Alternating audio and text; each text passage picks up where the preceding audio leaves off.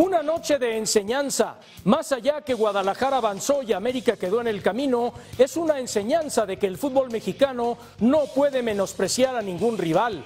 Guadalajara terminó colgado del travesaño para impedir que Red Bull de Nueva York le quitara la mínima ventaja de 1 por 0 y defendiéndose heroicamente con un cote excepcional, Guadalajara está en la final buscando su primer mundial de clubes.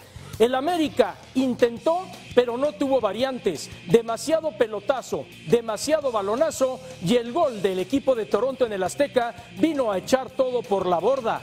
Cualquiera hubiera dicho a ojos cerrados, quiero una final Guadalajara-América pero abriendo los ojos hay que darse cuenta que el vecino del norte ha aprendido a jugar este tipo de competencias, que el vecino del norte también quiere trascender y quiere terminar con 12 años consecutivos del fútbol mexicano representando a CONCACAF en el Mundial de Clubes. A golpe se aprende y se aprendió ayer.